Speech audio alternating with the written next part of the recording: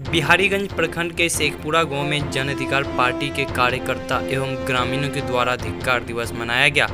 देखिए यह रिपोर्ट। प्रखंड के शेखपुरा गाँव में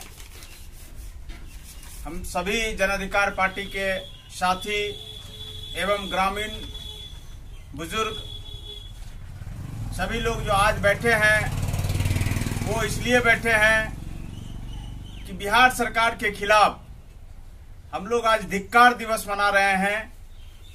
हमारे आदरणीय नेता, जननायक श्री पप्पू यादव जी को, जो मानव सेवा में लगे हुए थे, जो हर एक गरीब को खाना, हर एक बीमार को ऑक्सीजन, दवाई, पैसे से मदद कर रहे थे, शमशान घाट जा रहे थे तो सरकार को लगा कि हमारी किरकिरी हो रही है, हमारी पोल खुल जाएगी।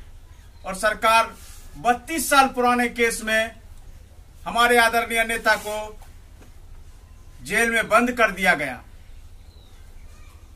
हमारे आदरणीय नेता का यही कसूर था कि राजीव प्रताप रूडी जो बीजेपी के सांसद थे, उनके यहाँ पचासों एंबुलेंस उनके घर में छुपा के रखा हुआ था। जो जिस एंबुलेंस से बालू ढोया जा रहा था।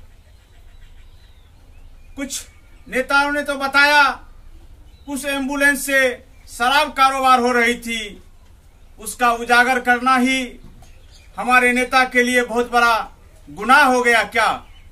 इसीलिए हम लोग आज शेखपुरा में बैठे हुए हैं। ऐसी सरकार पर धिक्कार है, थू है, जो इस तरह मानव के सेवा करने वाले इंसान को जेल में बंद कर दिया जाता है।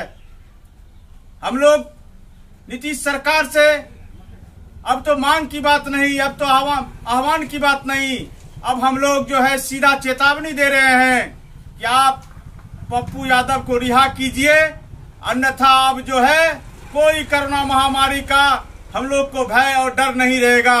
हम लोग गाँव के जितने भी ग्रामीण हैं, बिहार के, सभी अब रोड पे उतर जाएँगे। जब रोड पे उतर जाएँगे तो फिर आपका मुश्किल बढ़ेगा। इसीलिए हम आपको चेतावनी दे रहे हैं धिक्कार कर रहे हैं कि आप पप्पू यादव को जल्द से जल्द रिहा करें।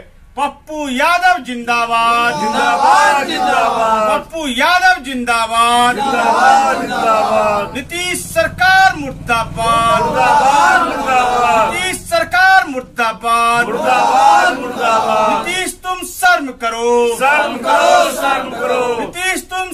शर्म करो शर्म करो शर्म